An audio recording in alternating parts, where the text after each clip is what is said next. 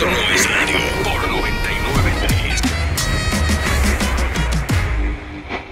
A más de un año, eh, el equipo que nos acompaña, quizás dos de ellos ausentes, porque la presencia de Dios no la había traído aquí con nosotros, la bella Jenny Blanco y el intelectual Juan Carlos Albelo, la cual nos honra su amistad.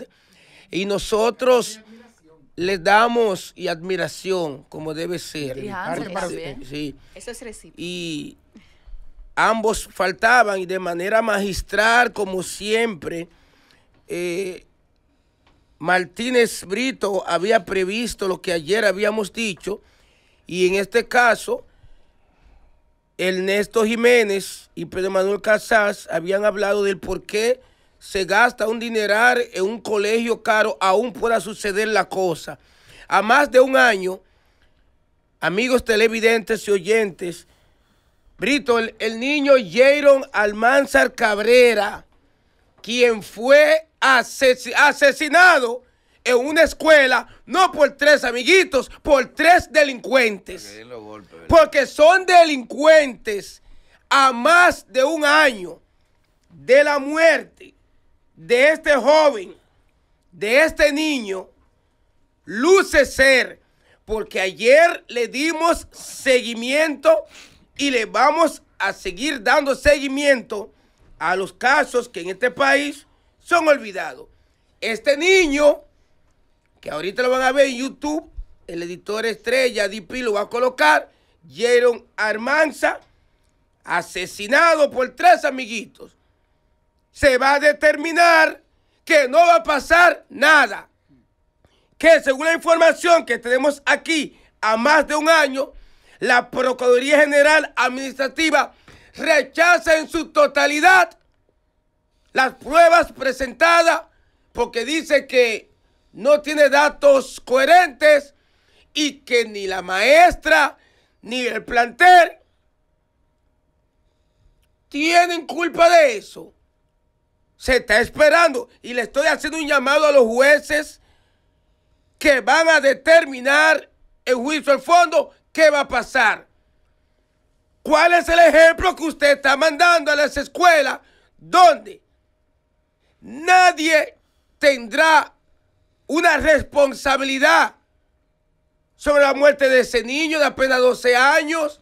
Pero ¿por qué no son llamadas a la escuela? La profesora María Celeste Mejía, la orientadora Ruth Moreta y la directora Norma Domingo Ascensión.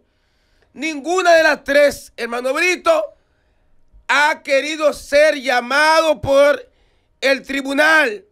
No han sido suspendidas ni tampoco han sido interrogadas. Ese niño de apenas 12 años llegaba a su casa. Un día llegó con el hombro casi desprendido por un mochilazo que le dieron. Unos días sin poder levantar el brazo, la madre fue a la escuela Liceo de Panamá, que es el lugar donde le quitan Escuela República de Panamá. La madre, di, allá dice la directora, la profesora y la orientadora. Ah, abro paréntesis. Según la información de los abogados que llevan el caso, es que ahí no hay muchas pruebas, que lamentablemente eso fue conflicto entre niños y que eso trajo un desenlace final. ¿Cómo es posible que siempre hemos dicho que la preocupación ahora de tener un hijo, un sobrino, una sobrina en la escuela es que a ti te llamen? Usted no quiere tener más corredero que usted sentado ahí. Hermano Ma- Martínez Brito. Dice, colegio llamando, hermano, usted una vez se le- el corazón, usted se dispara. Coño, algo pasó. Y usted sabe que usted le diga, venga, que su hija ha sido asesinada. Ay, no, Dios mío. Porque en la escuela, lamentablemente, decía la compañera Joni Estrella que quizás la gente la tomen a ella como estúpida en, en la conversación o la opinión que ella da, pero Casas, sin embargo, le dijo, no, no puedo tomarte estúpida, es que debe ser así. Cuando Joni hablaba de detectores de metales En la Las escuela. escuelas. en las escuelas, usted sabe que hay un director de la policía escolar, hermano Hansel Jiménez y los amigos televidentes, Brito, lo que él me mostraba que eran encontrar en las escuelas, Uy, pero no va. podían ser sacados, que por un derecho internacional, por el código de menor, pero mira, bombas lacrimógenas, servillana, puñales, molotov, todos los días en las escuelas, Cuchillos, navajas. navaja, pero el animal, porque es un animal prepotente, arrogante, Hasta el famoso gilet. que vota a quien sea del Ministerio de Educación. ¿Cuál es el compromiso con ese señor? Luis Abinader, el ministro de Educación, Ángel Hernández, vota diputados, vota senadores. El presidente va hoy, hoy a educación y a una patada. Mira, no venga a mí a hablar disparate, porque soy muy prepotente. Me dice que es milagro que lo tiene ahí, no sé.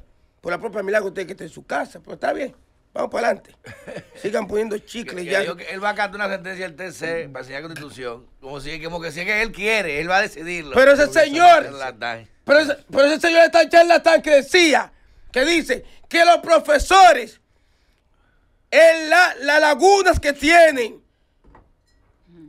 es por la poca preparación y que tienen que seguir preparándose. Es verdad, yo lo comparto, pero la universidad de él es, es que forma a los profesores, es que le da la preparación técnica. Entonces, si no sirve, es tu universidad que no sirve porque tú lo preparas ahí. Usted sabe los años de contrato que tiene el señor Miguel Hernández con el Estado, desde cuando Danilo. Por eso llevo los libros imprimirlos para allá. Por eso llevo los libros imprimidos para allá, para su universidad.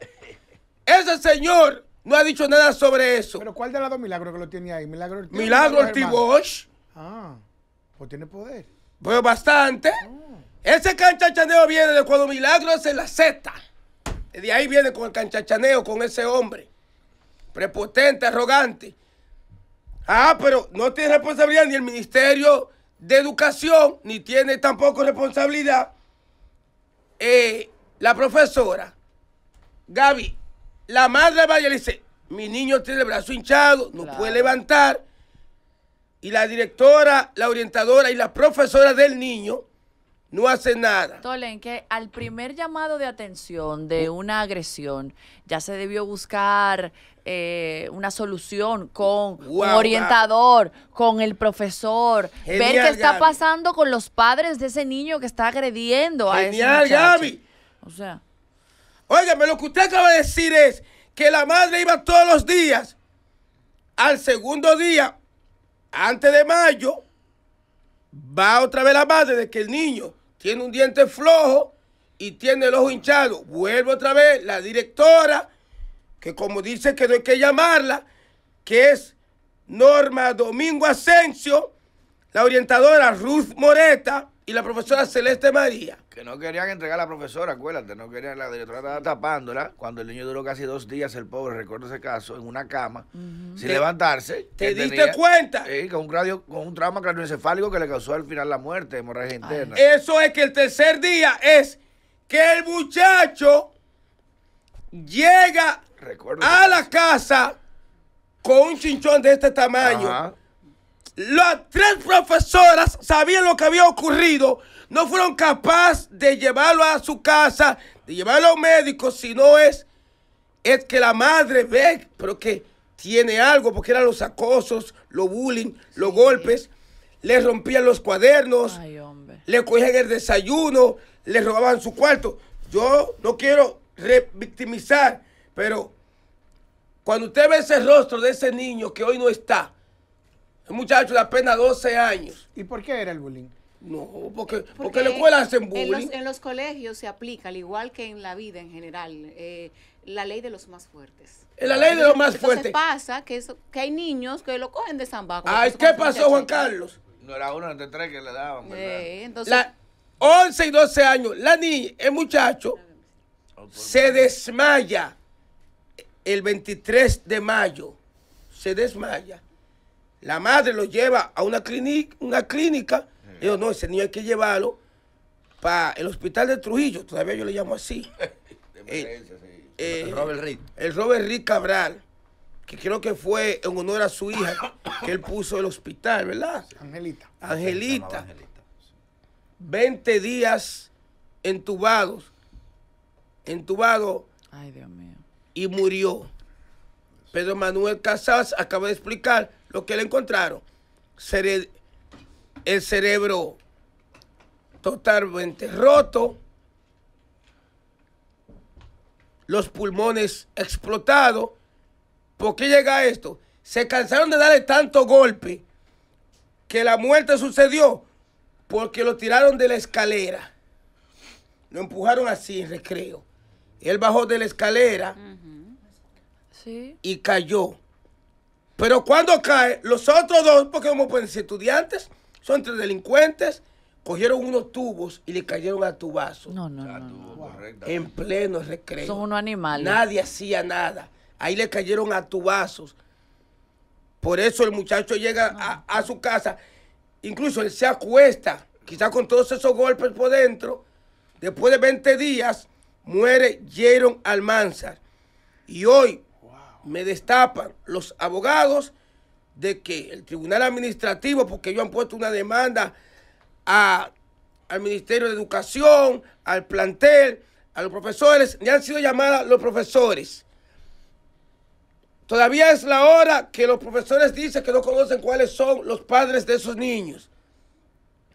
No se sabe el interrogatorio de la Cámara Ejerce y se determina de que ni los profesores, ni el plantel, ni el Ministerio de Educación, hasta ahora mismo no sé si fue que, que yo lo dudo, que hayan formado una querella, como estábamos hablando ayer del caso de la zona franca, débil. Si no se toma, y a los jueces o a los jueces les voy a hacer un llamado de, de corazón, de padre, hay que hacer un ejemplo. De Sangres decía, la madre iba todos los días a notificar que el hijo estaba llegando golpeado. Sí, pero los papás que se rieguen, o sea, de verdad, eh, La- o sea, la de padre amigo de la escuela, ¿dónde sí, está? Ay, exacto, de porque ella iba, pero quizá iba eh, como muy tranquila y muy no, pacífica. es porque que- mi doña, a los papás, estén pendientes si tienen que regarse y quizá eh, ponerse hasta eh, alterados para cuidar a sus hijos, háganlo, porque al final ustedes son los responsables. Yo agradezco que yo tenía una mamá que a, a todo pegaba el grito al cielo, porque a veces... Porque la Procuraduría General Administrativa rechaza la demanda a toda luz sin justificación de derecho. Donde también dice que el ministerio ni la profesora tienen responsabilidad. No han sido llamados profesores.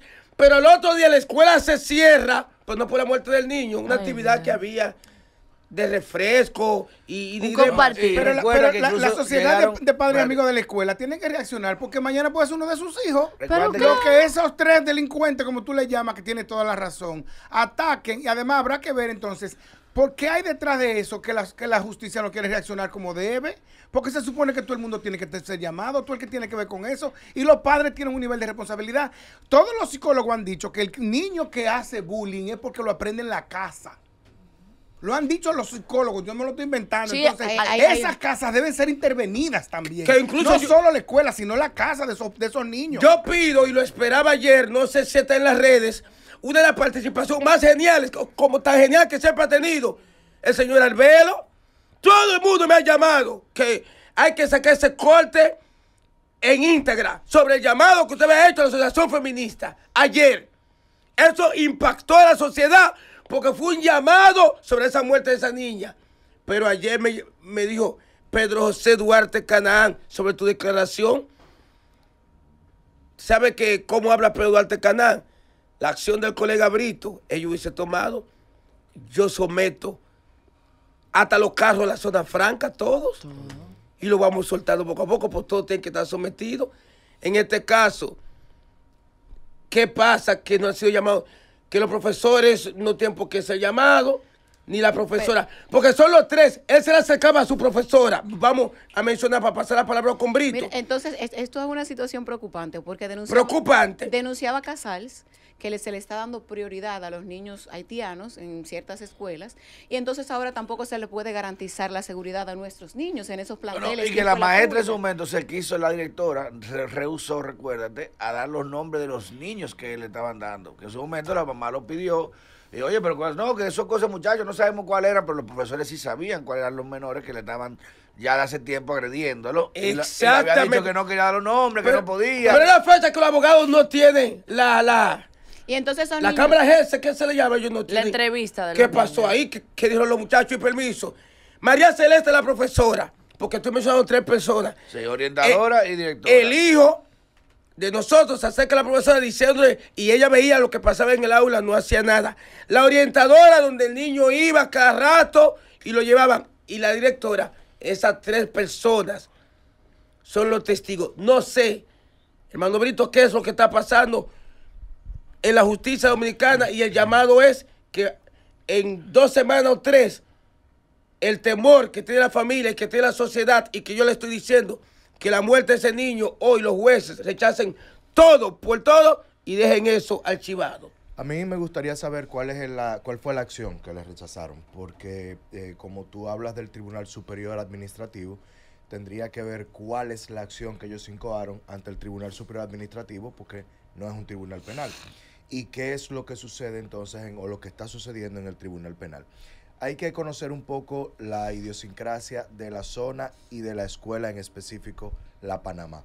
Yo estudié frente a la Panamá. En el Colegio de Santa Teresa está el, el- el parque Osama, que la gente le dice que Osama te va, porque era una prostitución eh, permanente en ese parque. Eh, en medio de colegios está el San Martín de Porres, está el, el Santa Teresa, está eh, la Panamá eh, y entre la otros Venezuela eso. colegios, está en la Venezuela. Y la zona, eh, el colegio tiene eh, la particularidad de que los niños de ahí no tienen control. Desde aquellos tiempos, no estoy hablando de ahora. Desde aquellos tiempos, las peleas Sí, se daban siempre con cuchillo, machete y piedra. Ahí nunca ha habido control en la Panamá. Es una escuela grande que alberga muchachos que vienen de todos los sectores de la Venezuela para adentro, para allá, Bien. desde el Club de los Billeteros hacia acá. Ahí eh. está el barrio de las enfermeras, está eh, parte de los minas, eh, están eh, diferentes sectores que convergen, donde hay muchísimos problemas en los hogares, donde esos muchachos van a la escuela regularmente, si quieren, porque salen de su casa para ir a la escuela, porque le da la gana o porque a lo mejor en la escuela tienen negocios. Ese fue uno de los primeros, de las primeras escuelas donde yo supe de ventas de estupefacientes Ay, por parte madre. de los mismos estudiantes. Y cuando tú ves una maestra o una directora que por temas políticos no quiere hacer las denuncias del lugar porque nadie quiere que le hagan un expediente en su escuela, porque como es una posición política, siempre hay quien esté esperando tu posición. Joseando ahí. Entonces, como no quieren bajo ninguna circunstancia que salga un expediente de tu escuela, ocultan este tipo de cosas. Sin embargo, y con esto, con esto concluyo, la responsabilidad penal es personal. Es cierto que, por ejemplo, la maestra puede que no tenga una responsabilidad penal específica sobre lo que le hicieron a ese niño, pero la responsabilidad civil sí la tienen.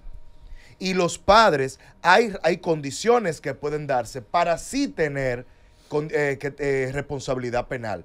Porque hay que ver con qué le dieron a ese muchacho y de dónde lo trajeron y quién se lo dio quién se lo dio lo que, con lo que le dieron a ese muchacho. Entonces, habría que verificar, y, y me comprometo contigo, Tolentino, hacer la investigación sobre qué está pasando en el tribunal penal. Te puedo Y- leer aquí que dice, él dice, Claro. con- pri- primer- primero, condenar al Estado Dominicano del presupuesto del Ministerio de Educación de la República y al ministro Hernández de su patrimonio personal a pagar a favor de los demandantes.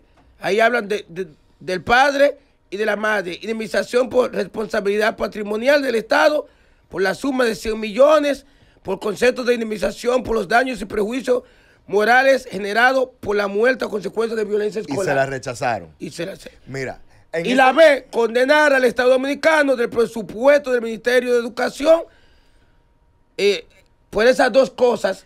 Hasta el momento, el Tribunal Administrativo Mira, Ve hay- eso, para que termine aquí, Brito, termina la idea para que me diga, Casal, ¿por qué la parte administrativa? Mira, es que el, el tema en este caso, yo creo que tiene mucho que ver con la con lo que ha sido la costumbre en República Dominicana, en la que no existe ese, ese gran apoyo de parte de los jueces en cuanto a lo que tiene que ver con responsabilidad civil.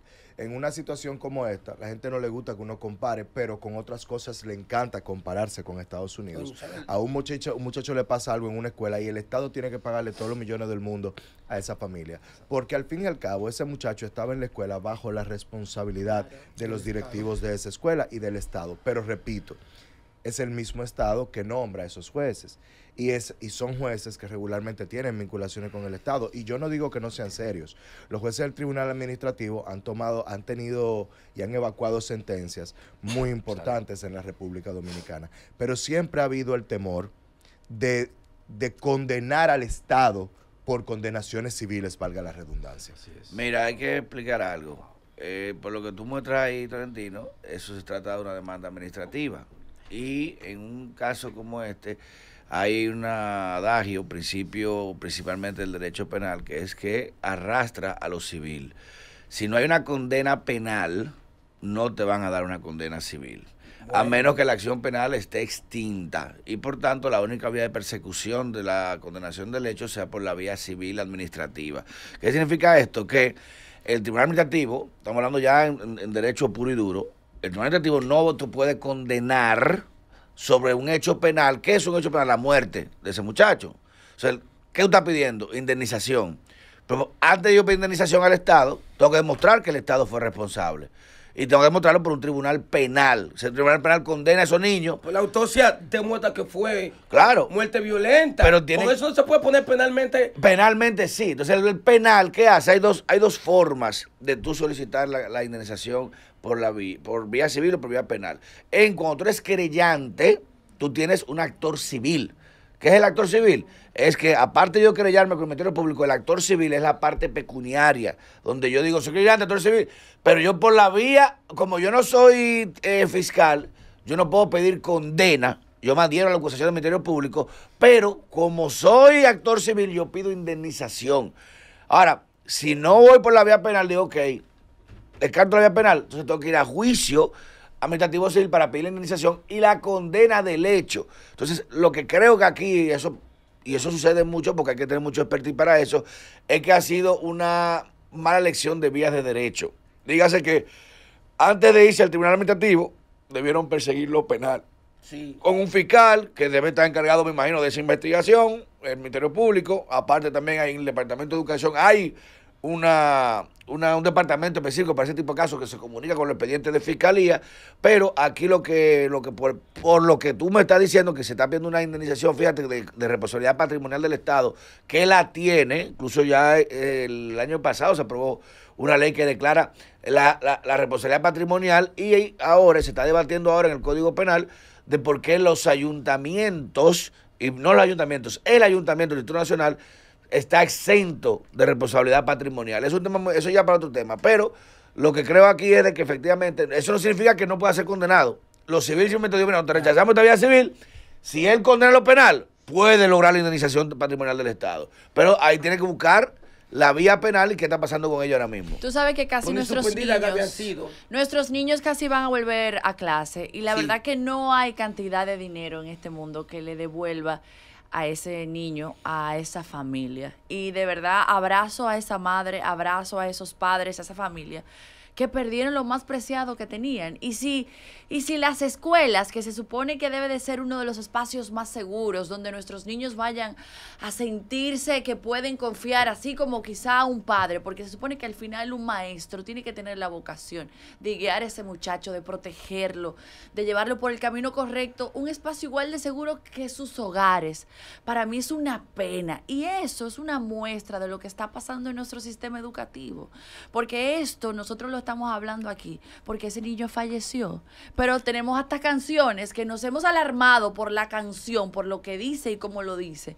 Pero es un retrato de lo que está sucediendo en nuestra sociedad y en nuestra educación. Así que, de verdad, yo creo que todos como sociedad, como país, deberíamos de pedir y poner en prioridad que nuestra educación, que nuestras escuelas sea un espacio seguro y sano para nuestros Y- muchachos. La, la, Ha pasado Juan Carlos, miren esa o sea, madre. tú sabes que, que me preocupa de Jenny y eso. luego Juan Carlos, solamente miren esa madre. Ay, Ya me mandó eso. ya Eso- que- eso que, no eso- que no tiene esperanza. Eso, ya. eso, esa imagen a mí me rompió el corazón. Y, y al final el mensaje siempre va a ser el mismo. Eh, los niños pobres son los hijos de nadie. Son por lamentablemente esa es la verdad. Eso no va a suceder en otros colegios de élite. Eso va a ocurrir en esos colegios. Mira, hoy esa madre está sin su hijo, no tiene su niño.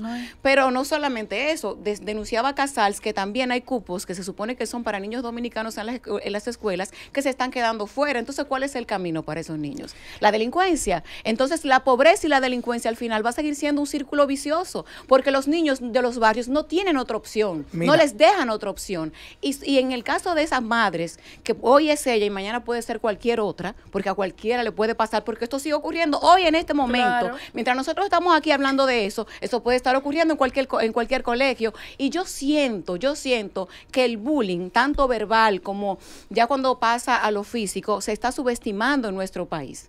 Claro, porque, porque se subestima incluso desde los medios de comunicación. El bullying eh, se- hoy día se le llama ñoñería. ¿Cuántas personas porque, hablan de porque esto? todos los grandes, todos los adultos, que la mayoría de los adultos que están en los medios de comunicación que insensibilizados, hablan de ahora la generación de cristal, ahora no se puede hacer humor con nada, ahora todo es bullying, ahora todo ofende. ¿De quién no se burlaron en la escuela? ¿A quién no agredieron en la escuela? Sí, eso le costó a uno muchos años de terapia y mucho dinero el que se burlaran de uno por cualquier condición que uno tenía. Y hoy día, en este momento, hay un niño que no quiere llegar a, a la escuela. Hay un niño que no quiere llegar a la escuela y en este me refiero al caso de, de la escuela Panamá. Pero se sabe por quién no quiere ir a, a la escuela ese niño. Wow. En la escuela se sabe quién es el fascineroso. En la escuela se sabe quién es el tigre gallo, el macho, el que se burla de la muchachita, del afeminado, del gordito, del, del, del morenito. Y eso es lo que yo propugno aquí. Por eso es que me dicen que soy ñoño y que pertenezco a la, a la generación de cristal. Porque realmente tenemos que pararlo. Y nos toca a nosotros desde los medios de comunicación no hacer chistes con ese tipo de cosas. No burlarnos de los demás. No porque usted se- sea calvo, tiene derecho a burlarse de un calvo. ¿Usted sabe por qué? Porque usted no sabe cómo ese calvo está llevando su pérdida de cabello.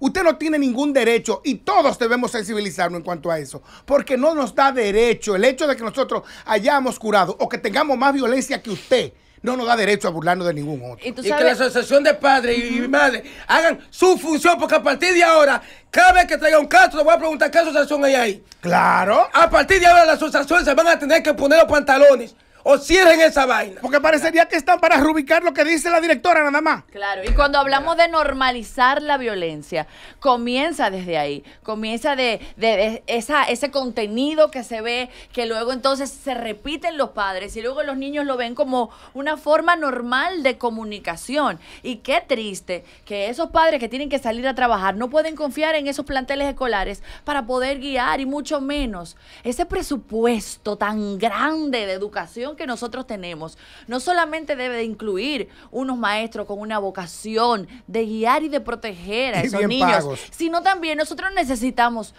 necesitamos psicólogos en las escuelas, nosotros necesitamos de verdad, por favor, un espacio El donde el el, problema niño se pueda sentar a El- conversar. El, problema es, Gaby, es que, óyeme, el problema es el siguiente.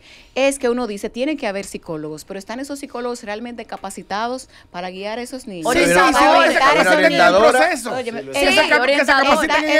Está, realmente los profesores de hoy están preparados para educar a esos niños cuando los mismos profesores van con unas lagunas grandísimas a los colegios. Algo, Eh, algo peor es nada, algo, algo peor es nada y se da ahí en ese caso. Sí, pero- en nuestras escuelas públicas primarias se han perdido el riel de escuela y hogar. Y de hecho, aquí estamos haciendo alusión a las asociaciones de padres y amigos de la escuela. Eso ha desaparecido. Totalmente. Eso ha desaparecido porque los padres han rehuido al compromiso. Hablo obviamente en la mayoría de los casos, no en las generalidades. Han, re- han huido al compromiso y van y le tiran los muchachos a las escuelas. Como guardería. Como guardería, Correcto. como almacén de tener muchachos y no pasan por esa Para que escuela. coman y, y desayunen y coman. Y cuando lo llaman, cuando lo llaman a esa escuela, pocos van. Conozco las realidades de los barrios. Las, eh, las asociaciones de padres y amigos de la escuela, que era como se llamaba antes y se sigue llamando, han desaparecido. Hay otro elemento también en nuestros barrios y que se da ahí de manera permanente en esos alrededores de la escuela Panamá, que se estaba Brito y donde ocurrió el hecho. Y es que las bandas de los barrios tienen célula en las escuelas. Las bandas de los barrios reclutan a muchachos que están en el liceo para que, hayan, hayan para que haya delincuencia común en las escuelas y también para que salgan de ahí, de esa escuela, reclutados a ser parte de esa banda. Hay un tercer elemento y que brilla por su ausencia, que es la escuela, la policía escolar. La policía escolar está prácticamente desaparecida. De hecho, quitado- el otro día... atribuciones del mismo Miguel de Ángel. Ángel Hernández la sacó la policía escolar. Ángel Hernández- Cogió un pique con Exacto. vaque. Sácame toda esa gente. Él Ahora puso él fue adultos mayores. atribuciones y solamente permite que estén fuera del plantel, no dentro. Ajá. Pero no en todos. Pero día una, no Casal, día- una, no eran adscritos al ministerio. Incluso deberían ser pagos, primero no por la policía. Pero él, él- él- él cambió eso, hay que decirlo, porque estaban presentes. Cuando, cuando arrancó la policía escolar y en los años subsiguientes, existían dos y tres agentes que estaban en las afueras de la escuela esperando que los, los estudiantes salgan o cuando entren para que no existiera este tipo de violencia e incluso dentro de las escuelas sin armas de fuego, obviamente, pero ya eso desapareció. De hecho, Hace algún tiempo yo estaba en Bonao y conversaba con la directora de un plantel y con un director de distrito y me decía, para el distrito escolar entero hay solo asignado 12 policía escolar. Oye eso, 12 policía escolar para un distrito escolar gigante como, como en el caso de Bonao. Mira, eh, en, en el portal de- del Ministerio de Educación, educa, eh, educando.edu.do, es un portal, no sé si del Ministerio de Educación, me corrijo yo, dice que conforme al artículo 185 de la Ley de Educación número 66-97, en cada institución educativa se, se construirá o constituirá una asociación de padres, madres, tutores y amigos de la escuela APMAE. Yo sabía que tenían unas siglas muy famosas, con la finalidad de apoyar directamente a la gestión del centro educativo. Miren, esto yo sabía que tenía algún peso mayor y que tenía que haberla. Es por ley que tiene que haberla. O sea que las hay. Pero me he dado pero en cuenta. práctica ha desaparecido. Bueno, pero me da. No, no han desaparecido. El problema es que ahora lo que hacen es rubricar todo lo que diga la directora. No hay un- una asociación, un APMAE, como se dice, de que, que sea crítica, que sea vigilante, que preserve, que tenga como, como, Proactiva. como educación, como, objeto principal al niño y no a estar bien con la directora, con el director. Y eso es lo que está pasando en, en- en instituciones como la, como la Carlos Escuela de Panamá. razón, porque cuando tú vas dos veces, si Brito va dos veces, dice, es que este papá es muy ñoño, y que eso, entonces todos los padres se, se asocian a la directora. Ah. No, y, y le Y a tratan mal. directora. Pero le tratan mal al muchacho, al papá que jode mucho, lo- le tratan ya mal me al entendiste. niño. Por lo menos por padre, por ser padre, usted debió entender que ese niño iba donde ti golpeado. Que ese niño fue lanzado de una escalera. No fue, fue empujado. Después que cayó, cogieron unos tubos. Bien, un tubazo. Entonces son delincuentes. Y no hay una enfermería en esa escuela. Y no hay cámaras de, de seguridad en esa escuela. Ahí, ahí me apareció de la pues Brito decía, yo quiero ver la querella completa, qué fue lo que hicieron. Yo termino diciendo a los jueces de que hoy ustedes tienen la responsabilidad de hacer un antes y un después. Y que después de un año, esta madre que tiene ese cuadro de su hijo, en vez de un cuadro de honor, un cuadro de que se graduó del año pasado, tiene un cuadro recordando a Jaron Almanzar. Y que hoy, hoy por hoy, después de más de 30 niños que han sido, porque es el problema, 25 niños han sido asesinados en escuela por compañeros. El último fue que les asesinó, les asesinó un brazo. Usted se recuerda que un estudiante le puso, eh, ¿Y no te acuerdas? Y que- después, muchachos, sube el machete. En el metro también, o se fue. El olor de la sangre. Ay, Míralo De- aquí donde está. delincuente con, con uniforme. Entonces Mira. son delincuentes. Hay que, hay que hacer una referencia y sin caer eh, como abogado del diablo, pero bueno hacer la distinción porque hay que, hay que hablar con datos. Búsquense lo que dice el profesor de Otto Guilotox, eh, el ideólogo del método Harvard, y ahora mismo el sociólogo más importante del mundo se llama Jordan Peterson. Cuando se habla de bullying, se, no se habla de violencia. La referencia del bullying es un filtro social. Pues es una violencia casi. No, no, ya, sí, no, ya, cuando se, no, ya cuando se ejerce violencia es otra cosa, porque eso es agresión. Pero el bullying que sufrimos y que todo el mundo lo ha vivido es una depuración de filtro. Se hace por calidad y por condición. Hay uno que es chiquito, pero es más inteligente que el que es deportista. El deportista le pasa la tarea al chiquito, pero el chiquito le pide al deportista que lo junte con él para ser cool. Hay una que es la más bonita, hay una que es la más popular. Hay una que es la que más amigos tiene, hay una que es la más riquita, hay una que hay que no. Y ese, ese filtro social es lo que va condicionando cualidades. Que dice él, tú no puedes crear hojas polimorfas. En el mundo, hasta la- uno de viejo ahora, en las empresas, eh, en los negocios, entre amigos, hay bullying y te relajan. Incluso hay relajo. Los reparos, los relajos evolucionan. Yo te relajaba antes porque yo tenía un carro más duro que el tuyo. Yo te relajaba porque tengo un yate. Y tú tienes un bombardier. ¿Eh? Y, y- y- tú aparte tienes entonces una casa en, en- Florida. Yo tengo una en Milán. Entonces, el bullying en sí como tal siempre será un filtro social. Eso de forma, no hay forma de regularlo. Ahora, lo que sí establece, y hay forma de medirlo, como dice Otto Guilotos, que son las condiciones de educabilidad.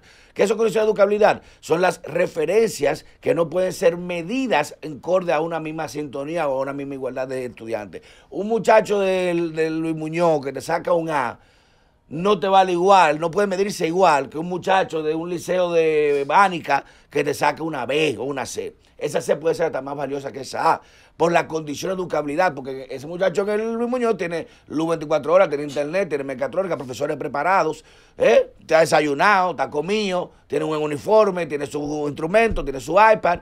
El muchacho de Bánica, ¿eh? quizás con una vela, con un lápiz papel, lloviendo, una vaina, te saca esa C que vale más que esa A. Y en esa referencia es que se mide. Hay una película muy buena, búsquenla, que se desarrolla en uno de los barrios más peligrosos de Estados Unidos, que es Compton, en Los Ángeles, que se llama Dangerous Minds, que es con Michelle Pfeiffer. Ella es una profesora de I-League, o sea, de, que, que están, porque en Estados Unidos, al igual que aquí, se establecen distritos por condiciones. Dígase que tú prefieres vivir, yo tengo hay padres que tienen residencia en New Jersey, en ciertos distritos de New Jersey o en Williamsburg, abajo de Nueva York, que no tienen casa ahí, tienen alquilado un pío o, una caseta para poder registrarse en la escuela de esa comunidad y no mandar su hijo al Bronx, ni mandar su hijo a Harlem. Entonces esta, esta profesora que está dando clases en una de las mejores escuelas, eh, le hacen un reto de cómo que esos muchachos que estaban en esa escuela, eso no había nada que hacer con esos muchachos.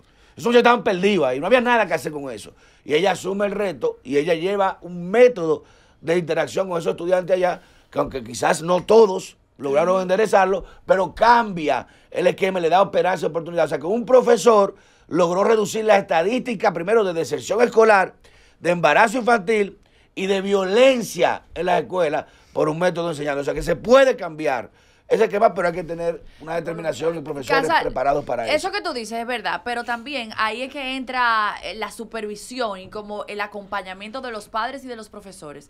Porque yo sí recuerdo que el bullying siempre ha existido, pero tú tenías a tu papá y a tu mamá diciéndote, sí, pero no le digas sí a fulanito, sí, pero espérate. y ahí comienza como ese filtro, de tú date cuenta que es verdad, nosotros uno con otro, uno se da cuerda. Siempre no se pero después tú aprendes que en la vida hay límites y que tú también tienes que cuidar los sentimientos de los demás.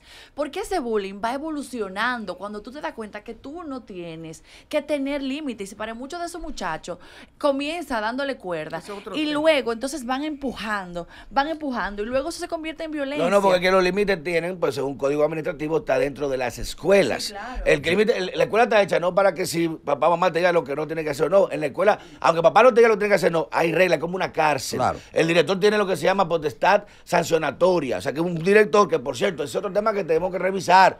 Porque hasta en la escuela privada, tú te en la escuela en la élite pasa mucho eso. Mi hermana es maestra, una de las mejores escuelas de este país, y ha tenido problemas con estudiantes, le han tirado hasta lápices, le han tirado hasta mascotas, Y no hay forma de sancionarlo. Pues los papás son demasiado poderosos cuando van y se quedan, no, pero eso son cosas muchachos. Era así. O sea, hay un tema de potestad sancionatoria que se ha perdido, han parado en un- una falsa interpretación de un derecho universal como es la educación. Entonces, eso hay que regular por la escuela si tiene controles. Le Mientras- tú hiciste esto, te, detention, o Mi- suspendido, o trabajo los sábados, o te, o, o- o te expulso. Que ya, ese otro, para tú expulsar un muchacho en la escuela, tiene que ser que mate uno al lado tuyo. Antes lo hacían por sospecha. Bueno, Exacto. esperamos pues que en adelante, como dice Jenny, antes de ser tutor, perdón, antes de ser orientador, profesor, véase como padre y que un niño viene donde ti llorando. Coño, eso no tiene Olvídate que tú eres profesora.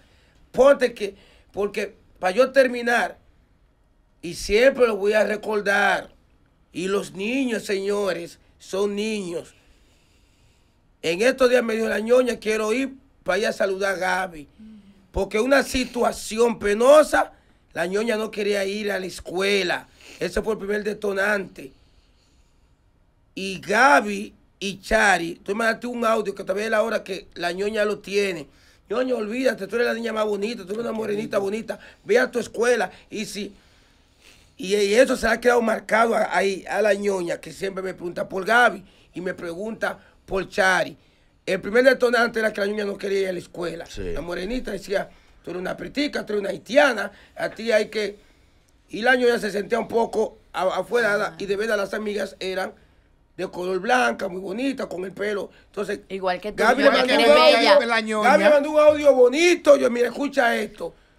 Y también la doctora Iche y Chari. Y yo sí le puedo decir que soy testigo de eso, que yo no sabía cómo manejar la situación porque Hansen no quería ir a la escuela. Tolentino, Imagínate. El Tolentino. detonante fue que yo, yo, yo, porque, no, yo quería ir a la escuela, y fue que yo comencé, qué extraño, porque la niña enferma con la escuela, y es que ella me explica, una amiguita, dicen que prieta, que cabello malo, Mean que no te Girls. di ahí, y ahí comenzó a sentirse deprimida, y por eso te agradezco siempre mucho. No podemos normalizar. Esto no es radio por 99.